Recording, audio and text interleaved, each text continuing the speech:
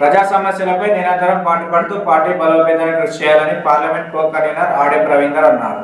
ముస్తాబాద్ మండల కేంద్రంలో బీజేపీ మండల కార్యవర్గ సమావేశం బీజేపీ మండల అధ్యక్షులు మెరుగు అంజాగౌడ్ ఆధ్వర్యంలో మండల ఆర్యవైశ్య గార్డెన్లో సమావేశం నిర్వహించారు. ఈ సమావేశానికి ముఖ్య అతిథిగా పార్లమెంట్ కో కన్వీనర్ ఆడే ప్రవీందర్ రాష్ట్ర కార్యవర్గ సభ్యులు మెరుగు హనుమంతగౌడ్ ముఖ్య అతిథిగా విచ్చేసి మండలంలోని పార్టీ కార్యకర్తలకు దిశానిర్దేశం చేశారు. ఈ సందర్భంగా వారు మాట్లాడుతూ రానున్న స్థానిక సంస్థల ఎన్నికలపై దృష్టి సహకరించి గ్రామాల్లో ప్రజా సమస్యలపై ప్రతి కార్యకర్త పాటుపడాలని కాంగ్రెస్ ప్రభుత్వం ఆరు గ్యారంటీలు అమలు చేస్తామని ఇచ్చిన హామీలు ఇచ్చి అధికారంలోకి వచ్చిన ఎనిమిది నెలలు గడుస్తున్న మహాలక్ష్మి పథకం కింద మహిళలకు రెండు వేల ఐదు వందలు ఆసరా పెన్షన్ మూడు వేలు రైతులకు రైతు బంధు అనేక హామీలకు అమలు చేయడంలో ప్రభుత్వం విఫలమైందని తెలిపారు. ఈ కార్యక్రమంలో బీజేపీ మండల అధ్యక్షులు మెరుగు అంజాగౌడ్ పార్లమెంట్ కో కన్వీనర్ ఆడే ప్రవీందర్ బీజేపీ రాష్ట్ర కార్యవర్గ సభ్యులు మెరుగు హనుమంతగౌడ్ అసెంబ్లీ కన్వీనర్ కరెండ్ల మల్లారెడ్డి జిల్లా అధికార ప్రతినిధి మల్లారపు సంతోష్ రెడ్డి జిల్లా కార్యవర్గ సభ్యులు ఎల్ల గిరిధర్ రెడ్డి బీజేపీ నాయకులు కార్యకర్తలు పాల్గొన్నారు.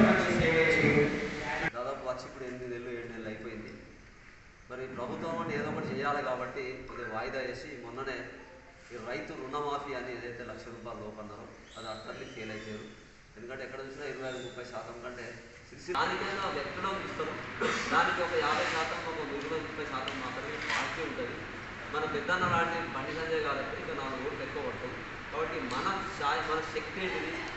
ఉన్నతత్వం ఏంటి గ్రామాలలో వార్డులలో మనం ఏ రకంగా వాళ్ళకు ఉన్నాం అనేది మమేకం ఉన్నదాని మీద ఆధారపడుతుంది కాబట్టి మనం చెప్పిన దానిలో చాలా అవకాశాలు ఉన్నాయి. తప్పకుండా ఈ యొక్క కేంద్ర ప్రభుత్వం ప్రజలు పథకాలు ఏవైతే ఉన్నాయో ముందరికి మన మన యువత భవిష్యత్తుకు దిక్సూచిగా ఉండే రకంగా ఒక కార్యక్రమం కాబట్టి వెళ్ళి కొద్ది రోజుల్లోనే రాబోయే రోజులలో ఎలక్షన్లు ఉంటాయి కాబట్టి తప్పకుండా మనం మళ్ళీ మన మండలాలలో గ్రామాలలో భారతీయ జనతా పార్టీ జెండాను ఎగిరేసే విధంగా ఉండాలని కోరుకుంటూ మరి చాలా రకరకాల మనం చూస్తూ ఉన్నాం. ఎందుకంటే అక్కడ యూపీలో కావచ్చు లేకపోతే కర్ణాటకలో కావచ్చు ఇవన్నీ చాలా చాలా విషయాలు